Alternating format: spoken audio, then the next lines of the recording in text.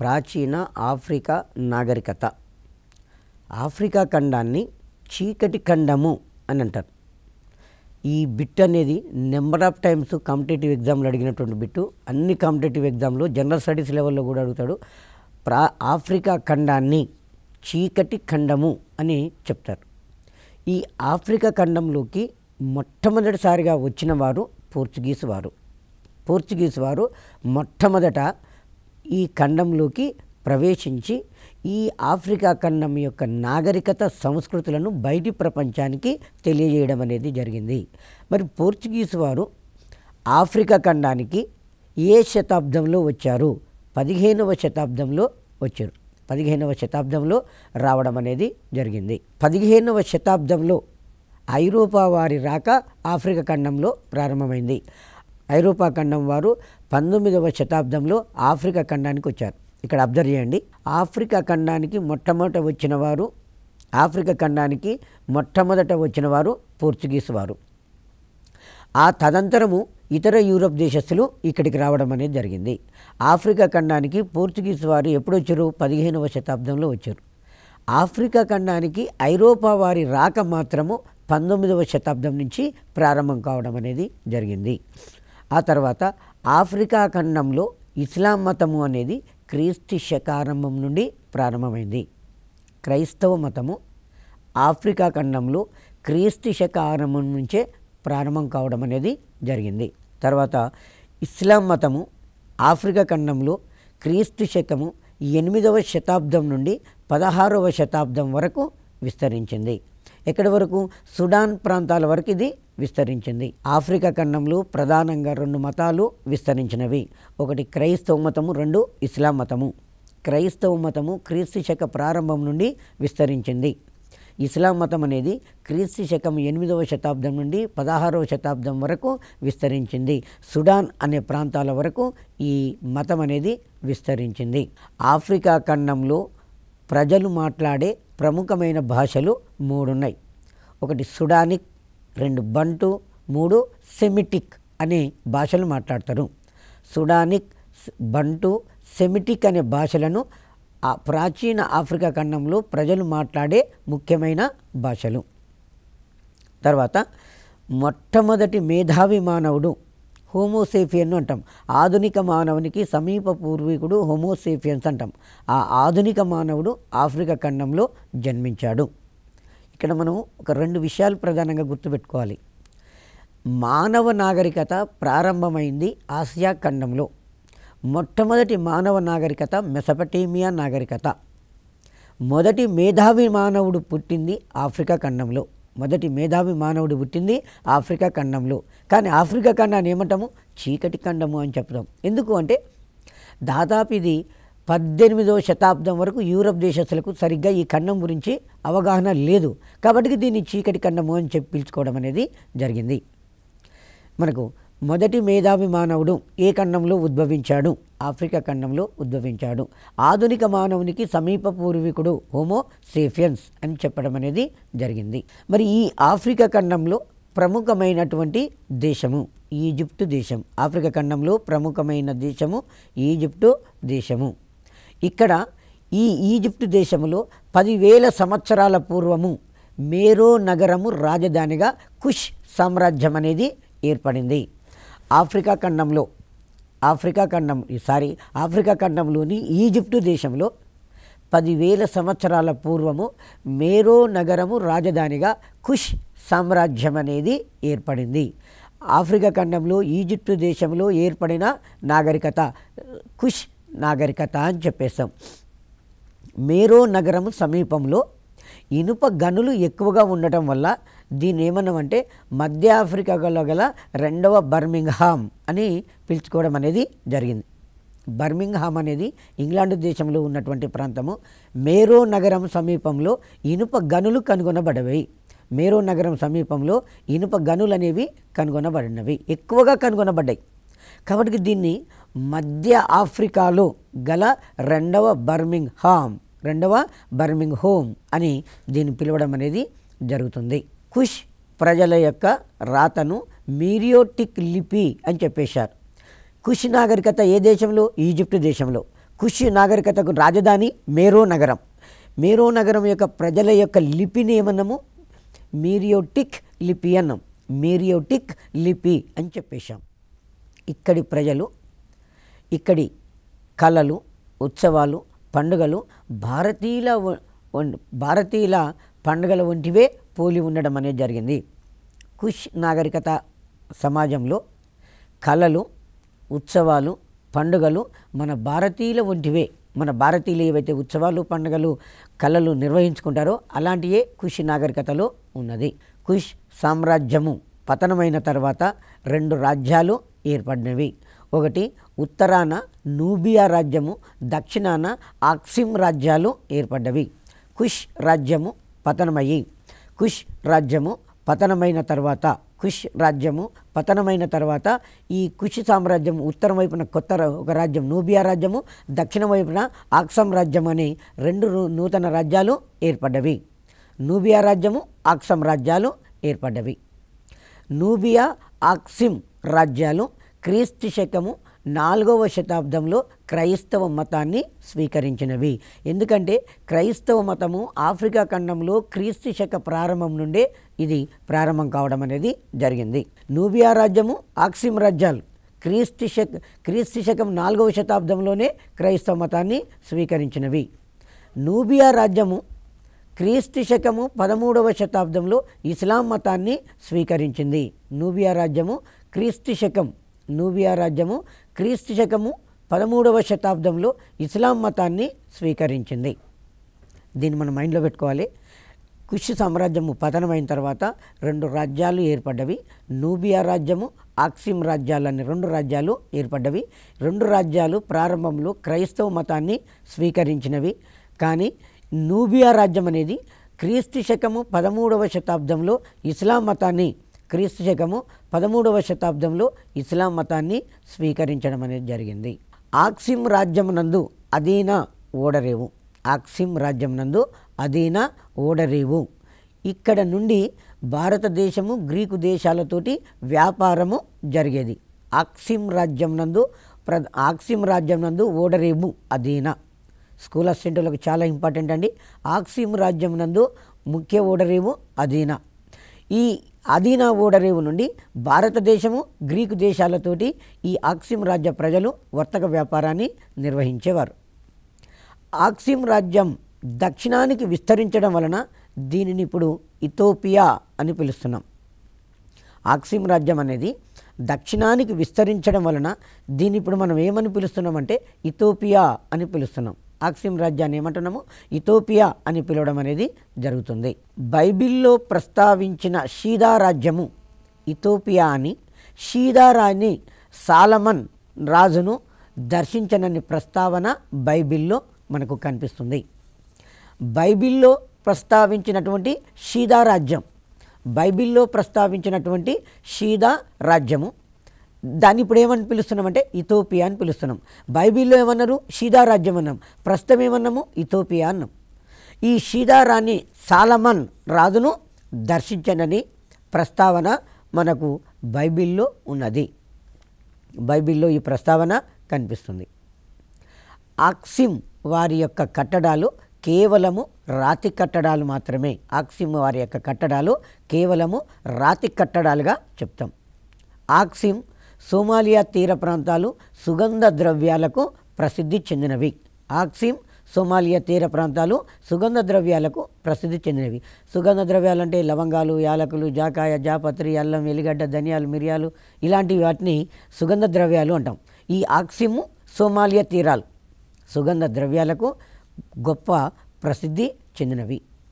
Africa ఖండాన్ని యూరోపియన్లు ఆక్రమించి పంచుకున్నందున దాని యొక్క వైభవం అనేది అంతరించిపోవడం అనేది జరిగింది. ఆఫ్రికా ఖండాన్ని యూరోపియన్లు ఆక్రమించుకొని దాన్ని పంచుకున్నారు. వాళ్ళు వారు పంచుకున్నారు. కాబట్టి ఈ ఆక్సిమ్ రాజ్యం యొక్క చరిత్ర అంతం కావడం అనేది జరిగింది. ప్రాచీన ఆఫ్రికా నాగరికత తర్వాత మరొకటి ప్రాచీన అమెరికా నాగరికత. ప్రాచీన అమెరికా నాగరికత. పశ్చిమార్ధగోళమునందలి ఉత్తర దక్షిణ అమెరికాలను కలిపి అమెరికా ఖండము అంటాం. పశ్చిమార్ధ గోళమునందలి ఉత్తర దక్షిణ అమెరికాలను కలిపి అమెరికా ఖండము అని మనం పిలవడం అనేది జరిగింది అమెరికా ఖండము అని పిలుస్తాము. పోర్చుగీస్ వారు ఇటలీ నావికుడు క్రిస్టఫర్ కోలంబస్ ఈ ఖండాన్ని కనుగొనడం అనేది జరిగింది. మొట్టమొదటిసారిగా ఈ ఆఫ్ ప్రాచీన అమెరికా సారీ అమెరికా ఖండాన్ని ఎవరు కనుగొన్నారు? క్రిస్టఫర్ కోలంబస్ కనుగొన్నాడు. క్రిస్టఫర్ కోలంబస్ కనుగొన్నాడు. ఈ క్రిస్టఫర్ కోలంబస్ ఎవరు అంటే ఇటలీ దేశానికి చెందిన నావికుడు.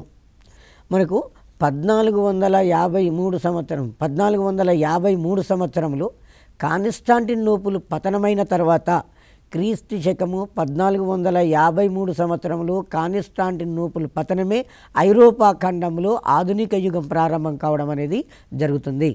సో ఈ కానిస్టాంటినోబుల్ పతనం కావడం వలన ఐరోపా ఖండంలో ఆధునిక యుగం ప్రారంభమయ్యి పోర్చుగల్ దేశము స్పెయిన్ దేశము భూగోళ అన్వేషణలకు పోటీలు పడడం అనేది జరిగింది. పోర్చుగల్ అండ్ స్పెయిన్ దేశం భూగోళ అన్వేషణలో పోటీలు పడ్డ దేశాలు. ఈ పోర్చు స్పెయిన్ దేశ రాజు రాణి ఇచ్చినటువంటి సహకారంతో ఎందుకంటే పోర్చుగీస్ వారు అట్లాంటిక్ మహాసముద్రం ద్వారా ప్రయాణం చేసి భారతదేశానికి పోవాలని ప్రయత్నం చేస్తున్నారు. అంతకు ముందే అలెగ్జాండ్రియా యూనివర్సిటీ పండితులు అలెగ్జాండ్రియా యూనివర్సిటీ పండితులు భూమి గుండ్రంగా ఉన్నది అని చెప్పారు. అంటే మనం ఇక్కడ ఉన్న ప్రాంతం నుంచి స్ట్రైట్గా బయలుదేరితే మళ్ళీ తిరిగి అదే ప్రాంతానికి వస్తామన్నట్టుగా వాడు తెలియజేయడం అనేది జరిగింది. సో కాబట్టి ఈ క్రిస్టఫర్ కోలంబసు స్పెయిన్ దేశపు రాణి రాజు ఫెర్డినాండు ఇసబెల్లా. రాజు పేరు ఫెర్డినాండు రాణి పేరు ఇసబెల్లా. వారి యొక్క సహకారంతో ఫెర్డినాండు ఇసబెల్లా సహకారంతో అట్లాంటిక్ మహాసముద్రంలో పశ్చిమ వైపు ప్రయాణం చేసి అట్లాంటిక్ మహాసముద్రంలో పశ్చిమ వైపు ప్రయాణం చేస్తే నేను భారతదేశానికి పోతాను అని తను భావించాడు. సో ఆ విధంగా అట్లాంటిక్ మహాసముద్రంలో పశ్చిమ వైపు ప్రయాణం చేసుకుంటూ వెళ్ళి ఈ ఉత్తర అమెరికాకు దక్షిణ అమెరికాకు మధ్యన ఉన్నటువంటి ఇండీస్ దీవులను చేరుకొని ఆయన నేను భారతదేశానికి పోయినా అని చెప్పి కోలంబస్ భావించాడు. ఎప్పుడు జరిగింది సంఘటన అంటే ఇది దాదాపు పద్నాలుగు వందల తొంభై రెండు సంవత్సరంలో జరిగింది. పద్నాలుగు వందల తొంభై రెండు సంవత్సరంలో ఈ సంఘటన జరిగింది. తదంతరము ఇటలీ దేశానికి చెందిన అమెరిగో వెస్పూచి ఇటలీ దేశానికి చెందిన అమెరిగో వెస్పూచి అనే అతను కోలంబస్ కనుగొన్నది భారతదేశం కాదు ప్రపంచానికి తెలియనటువంటి ఒక నూతన ఖండం అని చెప్పి ఆ కోలంబస్ కనుగొన్న ఖండం గురించి పూర్తిగా తెలుసుకొని యూరప్ దేశస్తులకు తెలియజేయడం అనేది జరిగింది. ఈ విధంగా కోలంబస్ కనుగొన్న ప్రాంతానికి అమెరికా ఖండం అనే పేరు వచ్చింది. ఇక్కడ ఎగ్జామ్లో ఏం క్వశ్చన్ అడుగుతాడు అంటే అమెరికా ఖండాన్ని ఎవరు కనుగొన్నారు? క్రిస్టఫర్ కోలంబస్ కనుగొన్నాడు. తర్వాత ఎవరి పేరు మీదుగా అమెరికా అనే పేరు వచ్చింది? అమెరిగో వెస్పూచి. అమెరిగో వెస్పూచి పేరు మీదుగా అమెరికా ఖండము అనే పేరు రావడం అనేది జరిగింది. అమెరికా ఖండం అనే పేరు రావడం అనేది జరిగింది. భూమధ్య రేఖ దక్షిణ అమెరికా ఖండం యొక్క ఉత్తరం వైపున పోతుంది. కాబట్టి దీన్ని దాని పైన ఉన్న భాగాన్ని ఉత్తర అమెరికా కింద ఉన్న భాగాన్ని దక్షిణ అమెరికా అని చెప్పడం అనేది జరిగింది. ఆ అమెరిగో వెస్పూచి వలన అమెరికా ఖండం అనే పేరు రావడం అనేది జరిగింది. ఈ అమెరికా ఖండానికి ఇరవై వేల సంవత్సరాల పూర్వము మానవుడు సైబీరియా ప్రాంతం నుండి ఇక్కడికి వచ్చినట్లు తెలుస్తుంది. కొన్ని ఆధారాలు మనకు తెలుస్తుంది. అమెరికా ఖండానికి మానవుడు ఎక్కడ నుండి వలస వచ్చాడు? సైబీరియా ప్రాంతం నుండి వలస వచ్చాడు. ఇరవై వేల సంవత్సరాల పూర్వము మానవుడు ఇక్కడికి వలస రావడం అనేది జరిగింది. మరి ప్రాచీన అమెరికాలో ప్రాచీన అమెరికాలో మూడు ముఖ్యమైనటువంటి నాగరికతలు ఉన్నవి. ఒకటి మాయా నాగరికత రెండు అజటెక్స్ నాగరికత మూడు ఇన్కాస్ నాగరికత. మాయా నాగరికత అజటెక్స్ నాగరికత ఇన్నా ఇన్కాస్ నాగరికత అని చెప్పేసి మూడు ముఖ్యమైనటువంటి నాగరికతలు ఈ మనకు అమెరికా ఖండంలో ఉన్నవి. మరి అమెరికా ఖండాన్ని ఎవరు కనుగొన్నారు? కొలంబస్. ఎవరి పేరు మీద వచ్చింది? అమెరిగో వెస్పూచి వలన. మానవుడు ఏ ఖండం నుంచి ఇక్కడ ఎక్కడి నుంచి ఇక్కడికి వచ్చాడు? సైబీరియా ప్రాంతం నుంచి ఇక్కడికి వచ్చాడు. మరి అమెరికా ఖండంలో ఎన్ని నాగరికతలు ఉన్నాయి? మూడు నాగరికతలు ఉన్నవి. వాటిని ఏమన్నాం? మాయా నాగరికత అజటెక్స్ నాగరికత ఇన్కాస్ నాగరికత అని చెప్పాం. ఇందులో మాయా నాగరికత ఇందులో మాయా నాగరికత. మాయా నాగరికత అనేది మధ్య అమెరికా ఎందలి గౌటమాలో మెక్సికో ఎందలి హోండరస్ ప్రాంతాలలో వ్యాపించి ఉన్నది. మాయా నాగరికత అనేది మధ్య అమెరికా ఎందలి గౌటమాలో మెక్సికో ఎందలి హోండరస్ ప్రాంతాలలో వ్యాపించి ఉన్నది. ఈ మెక్సికో అనేది మనకు అమెరికా ఖండ ఉత్తర అమెరికా ఖండంలో ఉంటుంది. మధ్య అమెరికాలోని గౌటమాలో మెక్సికో దేశంలో హోనరస్ పర్వత ప్రాంతాలలో ఈ నాగరికత వ్యాపించి ఉన్నది. ఈ మాయా నాగరికత అనేది పదిహేనవ శతాబ్దం నుండి మాయా నాగరికత అనేది పదిహేనవ శతాబ్దం నుండి పదమూడవ శతాబ్దం వరకు ఉచ్చస్థితికి చేరుకున్నది. ఇక్కడ మనకు ఈ శతాబ్దము పదిహేనవ శతాబ్దం తర్వాత పదమూడవ శతాబ్దం అని ఇచ్చిండు. క్రీస్తు పూర్వం అట్లాగే ఉంటుందండి. పైనుంచి కింది దాకా ఉంటుంది. పెద్ద నుంచి చిన్నగా ఉంటుంది. క్రీస్తు పూర్వము పదిహేనవ శతాబ్దంలో ప్రారంభమై క్రీస్తు శకము పదమూడవ శతాబ్దం వరకు ఈ నాగరికత మాయా నాగరికత అనేది గొప్ప ఉచ్చస్థితిలో ఉన్నది. ఈ మాయా నాగరికతలో ప్రజల యొక్క ముఖ్య వృత్తి వ్యవసాయం. మాయా నాగరికతలో ప్రజల యొక్క ముఖ్య వృత్తి ఏంటి? వ్యవసాయం. ఈ ఇది కూడా మనకి ఎగ్జామినేషన్లో అడుగుతాడు. ఇంతకుముందు ఒకసారి చైనా దేశ ప్రజల యొక్క ప్రాచీన చైనా ప్రజల యొక్క ముఖ్య వృత్తి అని అడిగాడు రెండు వేల సంవత్సరంలో డిఎస్సిలోనే ప్రాచీన చైనాలో ముఖ్య వృత్తి వ్యవసాయం. మాయా నాగరికత ప్రజల యొక్క ముఖ్య వృత్తి వ్యవసాయం. ముఖ్య పంట చెప్పుకోవాలంటే మొక్కజొన్నలను ఎక్కువగా పండించేవారు. మాయా నాగరికత ప్రజలు మొక్కజొన్న పంటలను ఎక్కువగా పండించేవారు. కానీ వీరికి కుమ్మరి సారే గురించి తెలియదట. కుమ్మరి సారే అంటే కుమ్మరి చక్రము తెలియదు. మరి వీళ్ళు కుమ్మరి చక్రం తెలియనప్పుడు మరి పాత్రలను ఎలా తయారు చేసుకునేవారు అంటే తంతుల ఆకారంలో తంతుల తంతుల ఆకారంలో మట్టి పాత్రలను తయారు చేసుకునే వాళ్ళట తంతుల ఆకారంలో తంతుల ఆకారంలో మట్టి పాత్రలను తయారు చేసేవారు. మాయా నాగరికతలో కుసాన్ అనే ప్రాంతములో జరిపిన త్రవ్వకాలలో రాతితో కట్టిన ఒక పెద్ద భవనము నక్ష భవనము బయటపడింది. కుసాన్ అనే ప్రాంతములో జరిపిన త్రవ్వకాలలో రాతితో కట్టిన ఒక పెద్ద నక్షత్ర ఒక పెద్ద భవనము బయటపడింది. మరి ఈ భవనం దేనికి ఉపయోగించుకున్నారు అంటే నక్షత్ర కేంద్రంగా భవనాన్ని నక్షత్ర కేంద్రంగా ఉపయోగించుకున్నట్లుగా బయటపడడం అనేది జరిగింది. ఇనుము తెలియదు. మాయా నాగరికత ప్రజలకు ఇనుము అనేది తెలియదు. కుమ్మరి చక్రము తెలియదు. ఇనుము తెలియదు. మరి కుమ్మరి తెలియనప్పుడు పాత్రలు ఎట్లా చేసుకున్నారంటే తంతులాకారంలో తయారు చేసుకున్నారన్నారు. కానీ రాతి వాడకము వచ్చు వీళ్ళకు. రాతిని ఉపయోగించి కట్టడాల నిర్మాణం చేశారు. కొసాన్ అనే ప్రాంతంలో ఒక అద్భుతమైన భవనాన్ని కట్టించారు. మరి ఆ భవనం దేనికి ఉపయోగించుకున్నారు? నక్షత్ర కేంద్రంగా ఉపయోగించుకోవడం అనేది జరిగింది. రాతి పలకల మీద చెట్ట బెర్రులతో చేసిన బట్టలపైన వీరు ఖగోళ విషయాలను చెక్కేవారు. మాయా నాగరికత ప్రజలు రాతి పలకల మీద చెట్ల బేరళ్ళతో చేసిన బట్టలపైన వీరు ఖగోళ విషయాలను చెక్కేవారు. చెట్ల యొక్క బేరులతో బట్టలాగా ఒక క్లాత్ లాగా ఒక పేపర్ లాగా తయారు చేశారు. ఆ బట్ట మీద ఖగోళ విషయాలను చెక్కారు. అలాగే రాతి పలకల మీద ఖగోళ విషయాలను చెక్కారు. మాయా నాగరికత ప్రజలు పూజించిన ముఖ్యమైన దేవతలు అగ్ని వరుణుడు అగ్ని వరుణుడు అనే దేవతలను వీరు తృప్తిపరచడానికి జంతు బలిని నరబలిని ఇచ్చేవాళ్ళు. ప్రపంచ చరిత్రలో మొదటిసారి అండి మనకు అధికారంగా కనిపిస్తుంది నరబలిని ఇచ్చిన ఆచారము మాయా నాగరికతకు ఉన్నది. ఒకసారి మళ్ళీ ఒకసారి మైండ్లో పెట్టుకోండి. నరబలిని ఇచ్చినటువంటి చరిత్ర మాయా నాగరికత ప్రజలకు ఉన్నది. వీరు ముఖ్య దేవులు ఎవరంటే అగ్ని వరుణుడు. అగ్ని వరుణుడు అనే దేవతలు ముఖ్య దేవతలు. కానీ వీళ్ళు ఈ దేవతలను సంతృప్తిపరచడానికి జంతు బలిని ఇచ్చారు. అదే టైంలో నరబలిని కూడా ఇచ్చేవారట. మాయా నాగరికత ప్రజలు నర్ దేవతలను తృప్తిపరచడానికి నరబలిని కూడా ఇచ్చేవారు. బంతి ఆట అనే ఒక మతపరమైనటువంటి వ్రతము చేసేవారు.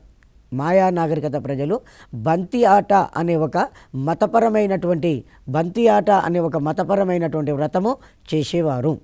వీరి యొక్క లిపి బొమ్మల లిపి. మాయా నాగరికత యొక్క ప్రజల యొక్క లిపిని ఏమన్నాము?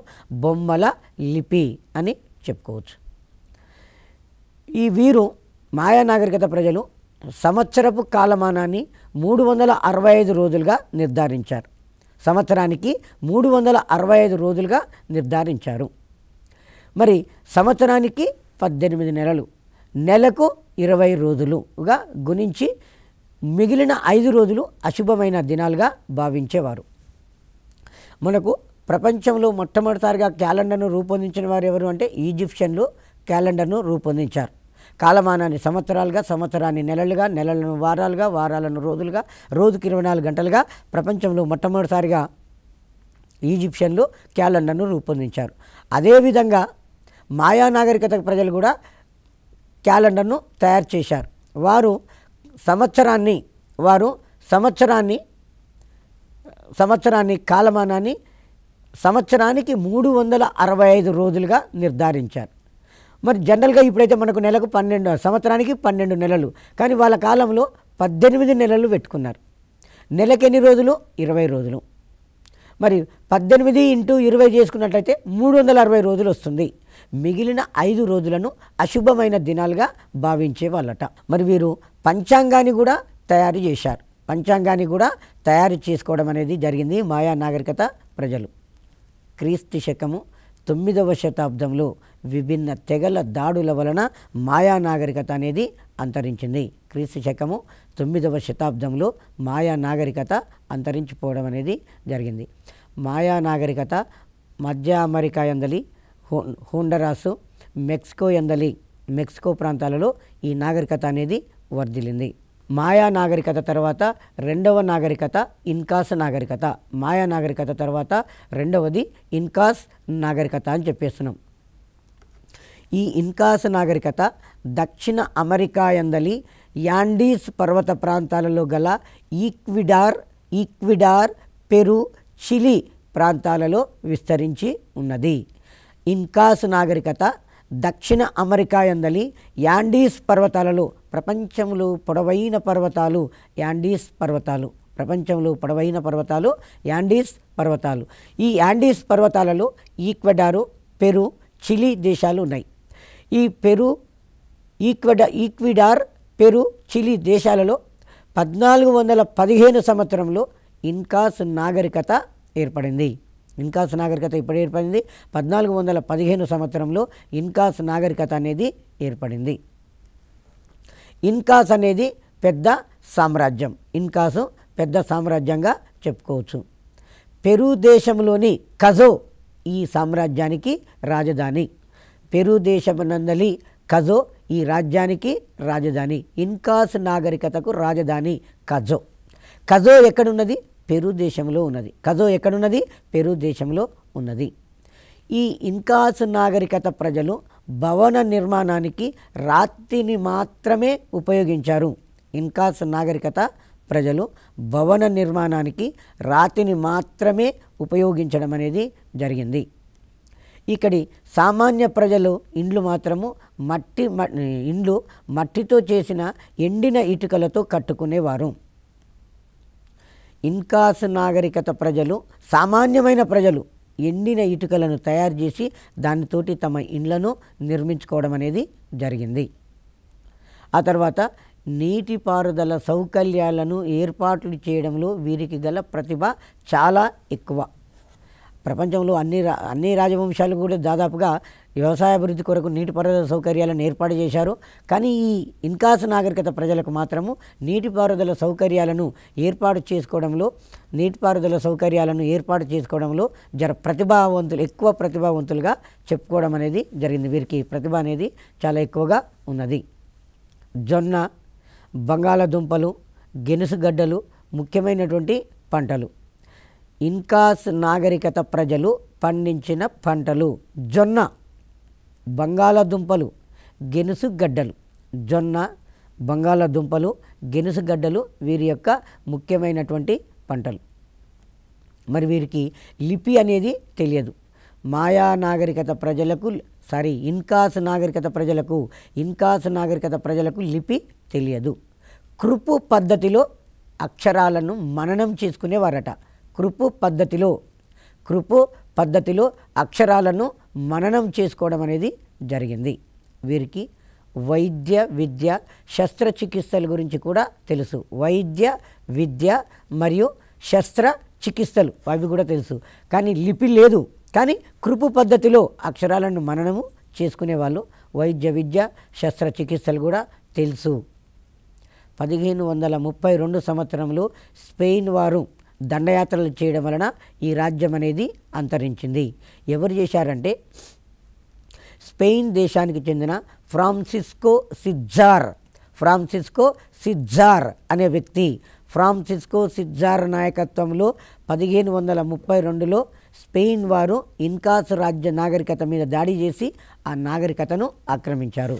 ఈ విధంగా ఈ విధంగా మనకు ఈ నాగరికత ఇన్కాస్ నాగరికత మీద స్పెయిన్ దేశం వారి యొక్క ఆధిపత్యము పెరిగిపోయింది. మూడవ నా మూడవ నాగరికత అజటెక్స్ నాగరికత. మూడవ నాగరికత ఏంటిది?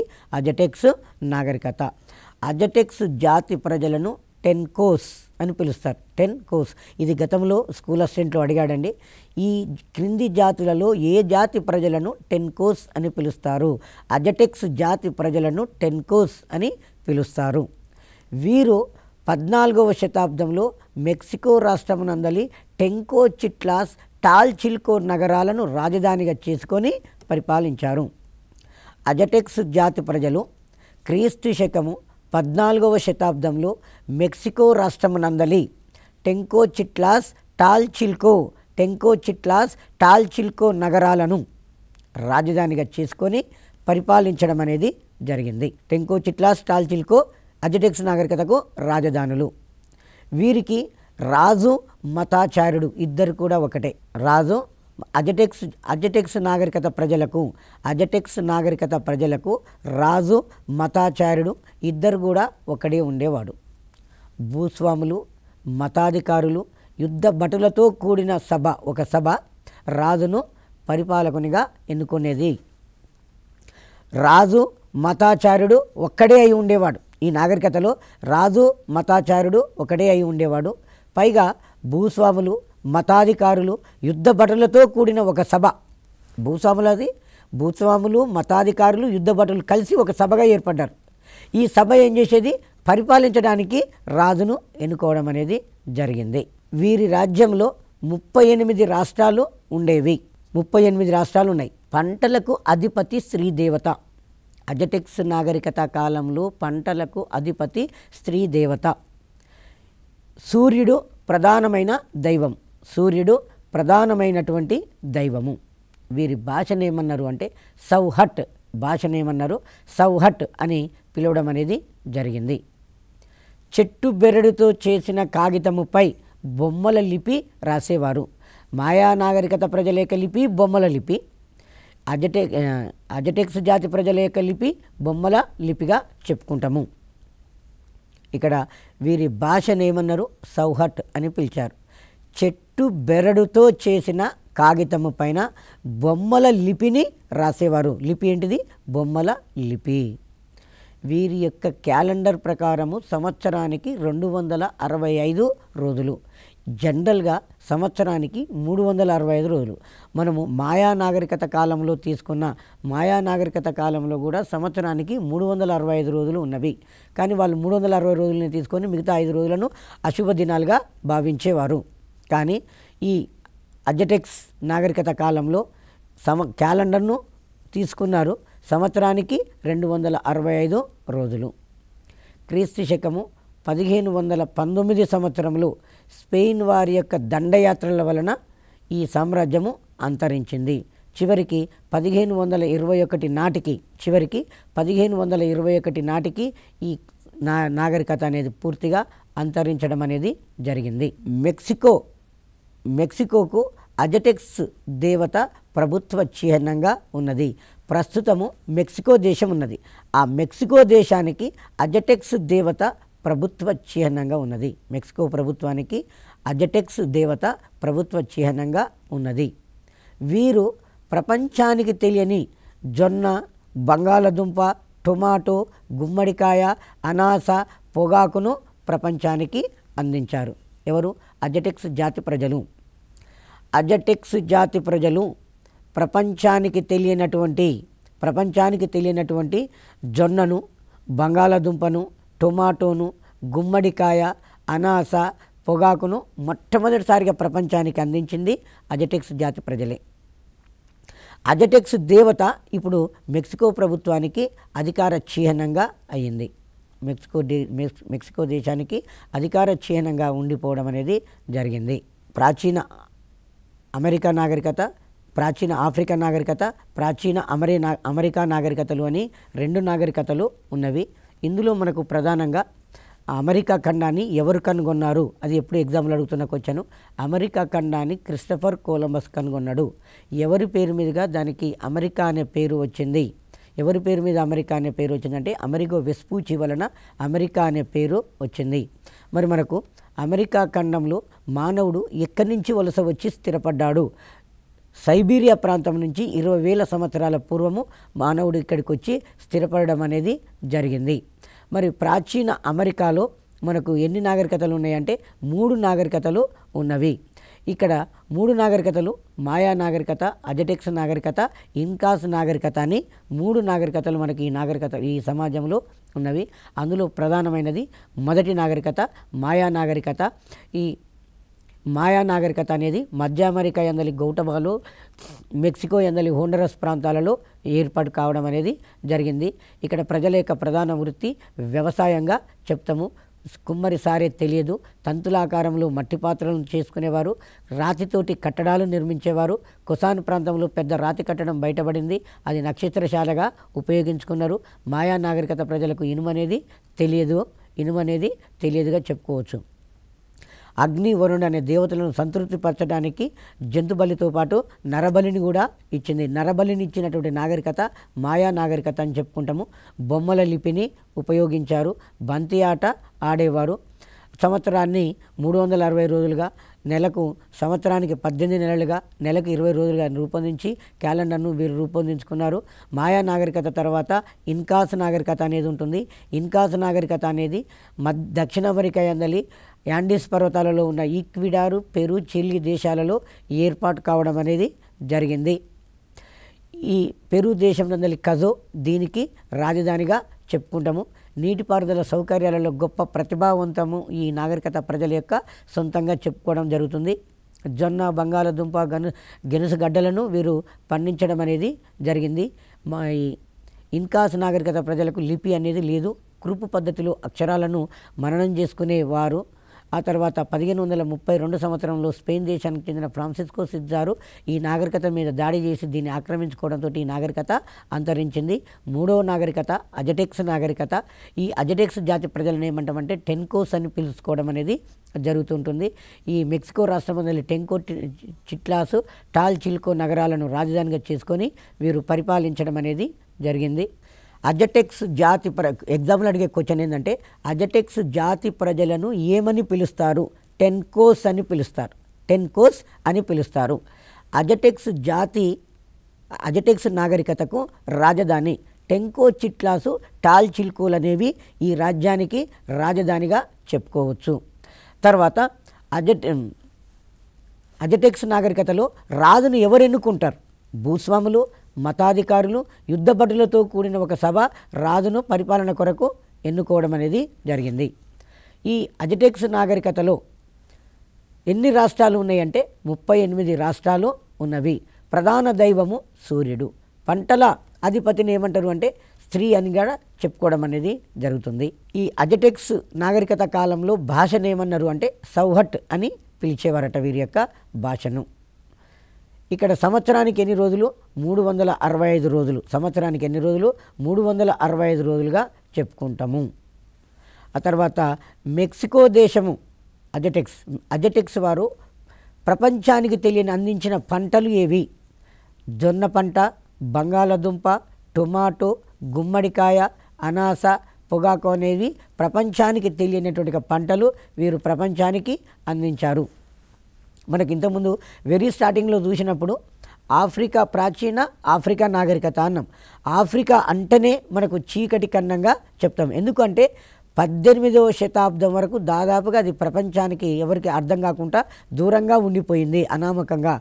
కాబట్టి ఆఫ్రికా ఖండాన్ని చీకటి ఖండము అని చెప్పేస్తాం. ఏ ఖండాన్ని? చీకటి ఖండం అంటాం. ఆఫ్రికా ఖండాన్ని చీకటి ఖండము అని చెప్పేస్తాం. ఆ తర్వాత ఈ ఆఫ్రికా ఖండంలో మొట్టమొదటిసారిగా ఏ దేశం వారు ప్రవేశించారు? పోర్చుగీస్ వారు ఈ ఖండంలోకి ప్రవేశించి అతడి నాగరికతల గురించి ప్రపంచానికి తెలియజేయడం అనేది జరిగింది. ఈ ఆఫ్రికా నాగరికతలో ఆఫ్రికా ఖండ ఆఫ్రికా ఖండంలో మొట్టమొదట ఏ మతం విస్తరించింది? క్రైస్తవ మతం ఎప్పటి నుంచి విస్తరించింది? క్రీస్తు శకారంభం నుంచి విస్తరించింది. ఇస్లాం మతము ఆఫ్రికా ఖండంలో ఏ శతాబ్దం నుంచి ఏ శతాబ్దం వరకు విస్తరించిందంటే ఎనిమిదవ శతాబ్దం నుండి పదహారవ శతాబ్దం వరకు విస్తరించింది.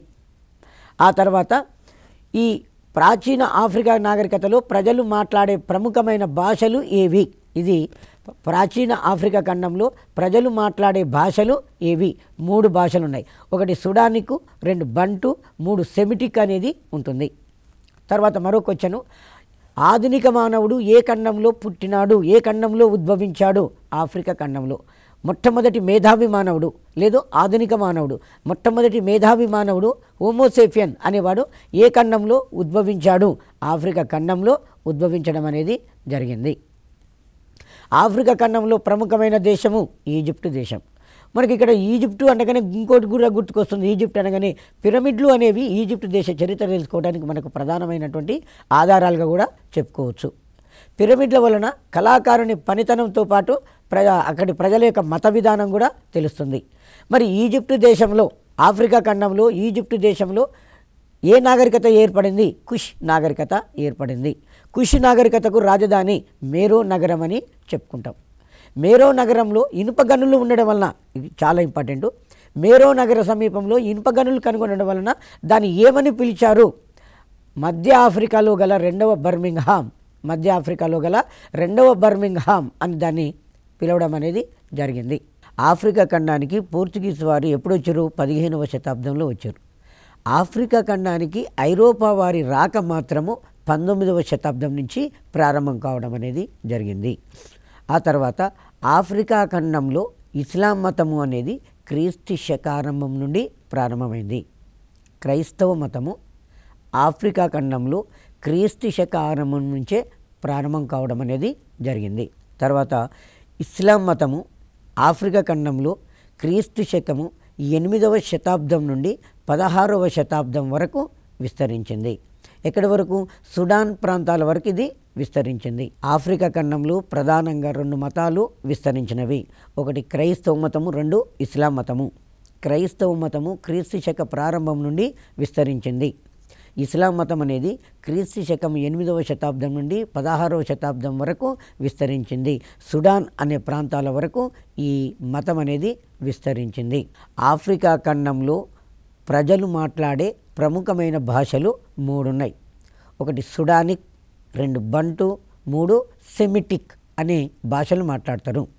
సుడానిక్ బంటు సెమిటిక్ అనే భాషలను ఆ ప్రాచీన ఆఫ్రికా ఖండంలో ప్రజలు మాట్లాడే ముఖ్యమైన భాషలు. తర్వాత మొట్టమొదటి మేధావి మానవుడు హోమోసేఫియన్ అంటాం. ఆధునిక మానవునికి సమీప పూర్వీకుడు హోమోసేఫియన్స్ అంటాం. ఆ ఆధునిక మానవుడు ఆఫ్రికా ఖండంలో జన్మించాడు. ఇక్కడ మనం ఒక రెండు విషయాలు ప్రధానంగా గుర్తుపెట్టుకోవాలి. మానవ నాగరికత ప్రారంభమైంది ఆసియా ఖండంలో. మొట్టమొదటి మానవ నాగరికత మెసపటేమియా నాగరికత. మొదటి మేధావి మానవుడు పుట్టింది ఆఫ్రికా ఖండంలో. మొదటి మేధావి మానవుడు పుట్టింది ఆఫ్రికా ఖండంలో. కానీ ఆఫ్రికా ఖండాన్ని ఏమంటాము? చీకటి ఖండము అని చెప్తాం. ఎందుకు అంటే దాదాపు ఇది పద్దెనిమిదవ శతాబ్దం వరకు యూరప్ దేశస్తులకు సరిగ్గా ఈ ఖండం గురించి అవగాహన లేదు. కాబట్టి దీన్ని చీకటి ఖండము అని చెప్పి పిలుచుకోవడం అనేది జరిగింది. మనకు మొదటి మేధావి మానవుడు ఏ ఖండంలో ఉద్భవించాడు? ఆఫ్రికా ఖండంలో ఉద్భవించాడు. ఆధునిక మానవునికి సమీప పూర్వీకుడు హోమో సేఫియన్స్ అని చెప్పడం అనేది జరిగింది. మరి ఈ ఆఫ్రికా ఖండంలో ప్రముఖమైనటువంటి దేశము ఈజిప్టు దేశం. ఆఫ్రికా ఖండంలో ప్రముఖమైన దేశము ఈజిప్టు దేశము. ఇక్కడ ఈ ఈజిప్టు దేశములో పదివేల సంవత్సరాల పూర్వము మేరో నగరము రాజధానిగా కుష్ సామ్రాజ్యం అనేది ఏర్పడింది. ఆఫ్రికా ఖండంలో ఆఫ్రికా ఖండం సారీ ఆఫ్రికా ఖండంలోని ఈజిప్టు దేశంలో పదివేల సంవత్సరాల పూర్వము మేరో నగరము రాజధానిగా కుష్ సామ్రాజ్యం అనేది ఏర్పడింది. ఆఫ్రికా ఖండంలో ఈజిప్టు దేశంలో ఏర్పడిన నాగరికత కుష్ నాగరికత అని చెప్పేస్తాం మేరో నగరం సమీపంలో ఇనుప గనులు ఎక్కువగా ఉండటం వల్ల దీన్ని ఏమన్నామంటే మధ్య ఆఫ్రికాలో గల రెండవ బర్మింగ్హామ్ అని పిలుచుకోవడం అనేది జరిగింది. బర్మింగ్హామ్ అనేది ఇంగ్లాండ్ దేశంలో ఉన్నటువంటి ప్రాంతము. మేరో నగరం సమీపంలో ఇనుప గనులు కనుగొనబడవి మేరో నగరం సమీపంలో ఇనుప గనులు అనేవి కనుగొనబడినవి. ఎక్కువగా కనుగొనబడ్డాయి.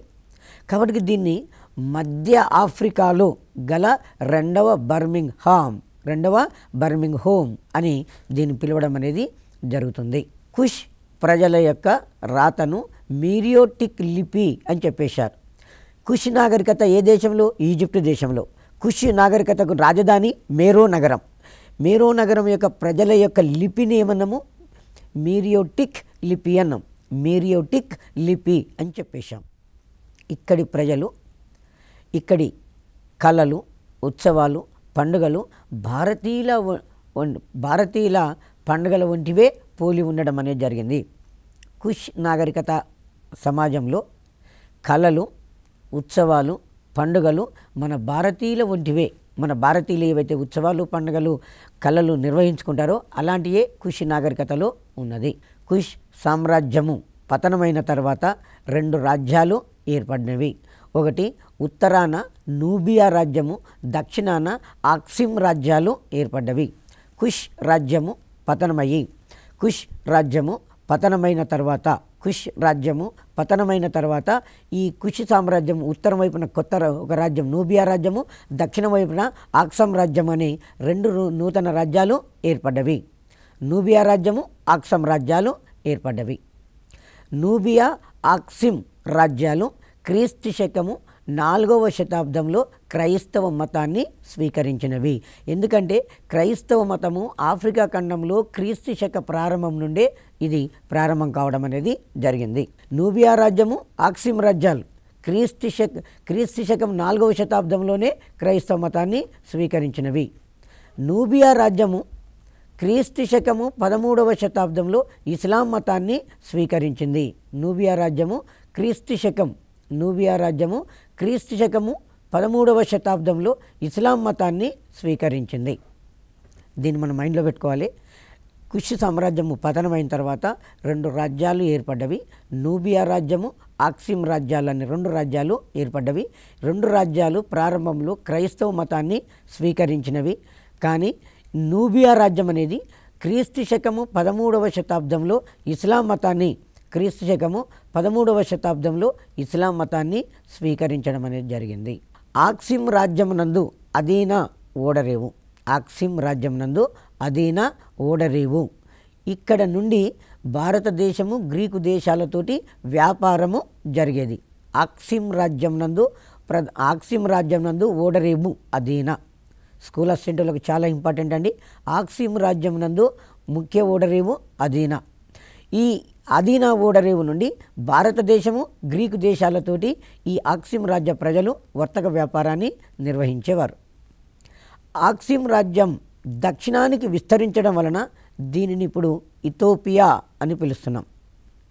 ఆక్సిమ్ రాజ్యం అనేది దక్షిణానికి విస్తరించడం వలన దీన్ని ఇప్పుడు మనం ఏమని పిలుస్తున్నామంటే ఇథోపియా అని పిలుస్తున్నాం. ఆక్సిమ్ రాజ్యాన్ని ఏమంటున్నాము?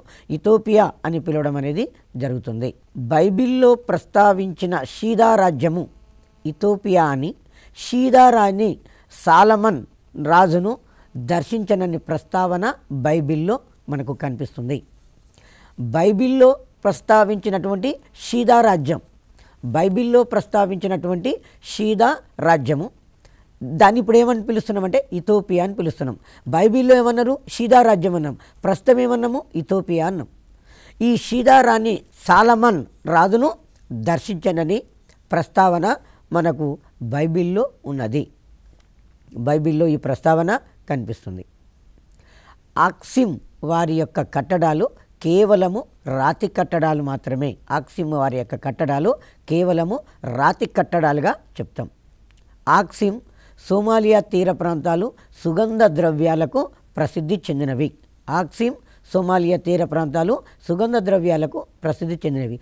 సుగంధ ద్రవ్యాలు అంటే లవంగాలు యాలకులు జాకాయ జాపత్రి అల్లం ఎల్లిగడ్డ ధనియాలు మిరియాలు ఇలాంటి వాటిని సుగంధ ద్రవ్యాలు అంటాం. ఈ ఆక్సిమ్ సోమాలియా తీరాలు సుగంధ ద్రవ్యాలకు గొప్ప ప్రసిద్ధి చెందినవి. ఆఫ్రికా ఖండాన్ని యూరోపియన్లు ఆక్రమించి పంచుకున్నందున దాని యొక్క వైభవం అనేది అంతరించిపోవడం అనేది జరిగింది. ఆఫ్రికా ఖండాన్ని యూరోపియన్లు ఆక్రమించుకొని దాన్ని పంచుకున్నారు. వాళ్ళు వారు పంచుకున్నారు. కాబట్టి ఈ ఆక్సిమ్ రాజ్యం యొక్క చరిత్ర అంతం కావడం అనేది జరిగింది.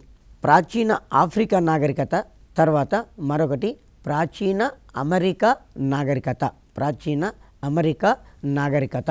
పశ్చిమార్ధగోళమనందలి ఉత్తర దక్షిణ అమెరికాలను కలిపి అమెరికా ఖండము అంటాం. పశ్చిమార్ధగోళమనందలి ఉత్తర దక్షిణ అమెరికాలను కలిపి అమెరికా ఖండము అని మనం పిలవడం అనేది జరిగింది అమెరికా ఖండము అని పిలుస్తాము. పోర్చుగీస్ వారు ఇటలీ నావికుడు క్రిస్టఫర్ కోలంబస్ ఈ ఖండాన్ని కనుగొనడం అనేది జరిగింది. మొట్టమొదటిసారిగా ఈ ఆఫ్ ప్రాచీన అమెరికా సారీ అమెరికా ఖండాన్ని ఎవరు కనుగొన్నారు? క్రిస్టఫర్ కొలంబస్ కనుగొన్నాడు. క్రిస్టఫర్ కొలంబస్ కనుగొన్నాడు. ఈ క్రిస్టఫర్ కొలంబస్ ఎవరు అంటే ఇటలీ దేశానికి చెందిన నావికుడు. మనకు పద్నాలుగు వందల యాభై మూడు సంవత్సరం పద్నాలుగు వందల యాభై మూడు సంవత్సరంలో కాన్స్టాంటినోపుల్ పతనమైన తర్వాత క్రీస్తు శకము పద్నాలుగు వందల యాభై మూడు సంవత్సరంలో కాన్స్టాంటినోపుల్ పతనమే ఐరోపా ఖండంలో ఆధునిక యుగం ప్రారంభం కావడం అనేది జరుగుతుంది.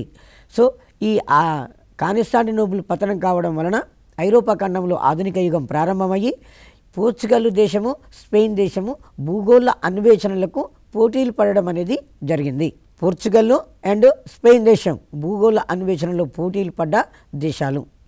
ఈ పోర్చు ఈ స్పెయిన్ దేశ రాజు రాణి ఇచ్చినటువంటి సహకారంతో ఎందుకంటే పోర్చుగీస్ వారు అట్లాంటిక్ మహాసముద్రం ద్వారా ప్రయాణం చేసి భారతదేశానికి పోవాలని ప్రయత్నం చేస్తున్నారు. అంతకుముందే అలెగ్జాండ్రియా యూనివర్సిటీ పండితులు అలెగ్జాండ్రియా యూనివర్సిటీ పండితులు భూమి గుండ్రంగా ఉన్నది అని చెప్పారు. అంటే మనం ఇక్కడ ఉన్న ప్రాంతం నుంచి స్ట్రైట్గా బయలుదేరితే మళ్ళీ తిరిగి అదే ప్రాంతానికి వస్తామన్నట్టుగా వాడు తెలియజేయడం అనేది జరిగింది. సో కాబట్టి ఈ క్రిస్టఫర్ కొలంబసు స్పెయిన్ దేశపు రాణి రాజు. Ferdinand Isabella. రాజు పేరు ఫెర్డినాండు రాణి పేరు ఇసబెల్లా. వారి యొక్క సహకారంతో ఫెర్డినాండు ఇసబెల్లా సహకారంతో అట్లాంటిక్ మహాసముద్రంలో పశ్చిమ వైపు ప్రయాణం చేసి అట్లాంటిక్ మహాసముద్రంలో పశ్చిమ వైపు ప్రయాణం చేస్తే నేను భారతదేశానికి పోతాను అని తను భావించాడు. సో ఆ విధంగా అట్లాంటిక్ మహాసముద్రంలో పశ్చిమ వైపు ప్రయాణం చేసుకుంటూ వెళ్ళి ఈ ఉత్తర అమెరికాకు దక్షిణ అమెరికాకు మధ్యన ఉన్నటువంటి ఇండీస్ దీవులను చేరుకొని ఆయన నేను భారతదేశానికి పోయినా అని చెప్పి కోలంబస్ భావించాడు. కుషి ప్రజల యొక్క లిపిని ఏమన్నారు? మీరియోటిక్ లిపి అని చెప్పుకోవడం అనేది జరిగింది. కుషి సామ్రాజ్యము పతనమై ఉత్తరం వైపున ఏర్పడిన రాజ్యము నూబియా దక్షిణ వైపున ఏర్పడిన రాజ్యము ఆక్సిమ్ రాజ్యం అని చెప్పేస్తాం. ఈ రెండు రాజ్యాలు మొదట్లో ఏ మతాన్ని తీసుకున్నాయి? క్రైస్తవ మతాన్ని. మరి నూబియా రాజ్యము పదమూడవ శతాబ్దం నుంచి క్రైస్తవ మతంలోకి మారిపోయింది. ఇక్కడ సోమాలియా తీరము సోమాలియా తీరంలో ఇక్కడ మనకు సుగంధ ద్రవ్యాలు అనేవి ఎక్కువగా కనిపించడం అనేది సోమాలియా తీరంలో ఎక్కువగా మనకు ఈ సుగంధ ద్రవ్యాలు కనిపించడం అనేది జరిగింది. ఓకే?